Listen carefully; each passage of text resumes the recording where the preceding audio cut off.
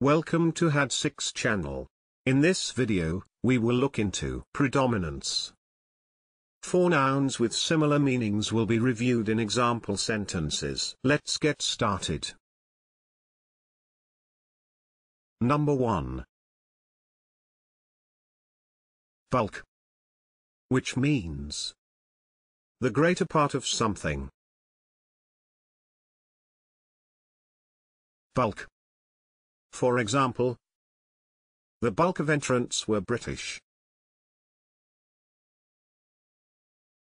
Number 2.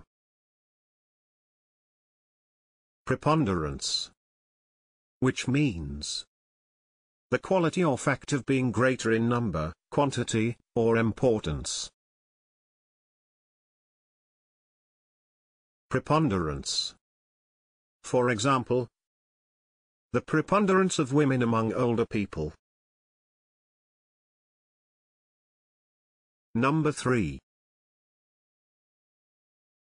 Majority. Which means the greater number. Majority. For example, in the majority of cases all will go smoothly. Number 4. Dominance. Which means power and influence over others. Dominance. For example, the worldwide dominance of Hollywood.